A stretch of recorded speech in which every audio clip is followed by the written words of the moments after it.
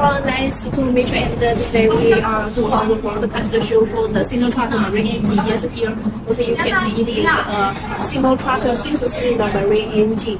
This is uh, a 240 horsepower marine engine. You can see here is with the uh, six-cylinder here, one, two, three, four, five, six. And uh, for the Sinotruk marine engine, we guarantee three years quality warranty. You can see here is this with the engine monitor.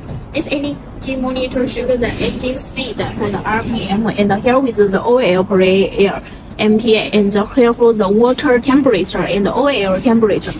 Uh, if your engine um, occurs something little will problem, here is for if the overspeed low oil pressure and high temperature about the water and the high oil temperature. Here is for the engine to stop. Here is to show the uh, engine is charged for it and here is for remote control and for mood and fuel leak. That is uh, we also have uh, the remote display. This is the one set together with that that you can uh, control the engine in your cabin room. And uh, here is uh, here also have the key to for the turn on and the turn off in the normal here is for you to show the uh, voltage here is this the uh, engine monitor.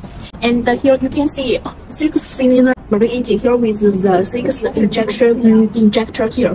One, two, three, four, five, six. And this side is the injection pump. Here also with the fuel filter inside here or with the uh, Sinotruk brand here and for the original Sinotruk marine engine. Here also with the Sinotruk logo inside. You can see. And here also this side for the hose. It is for you to or when you remove or lift the engine, you can use the cable through this hole to hang on it. And you can, well, let us see here. Here is for this the engine in some move up here.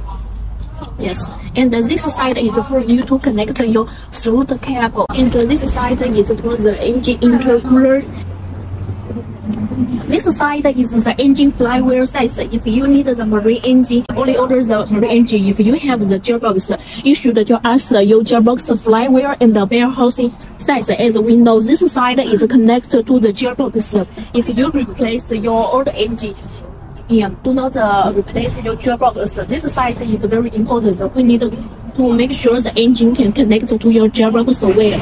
And uh, this one is the turbocharger.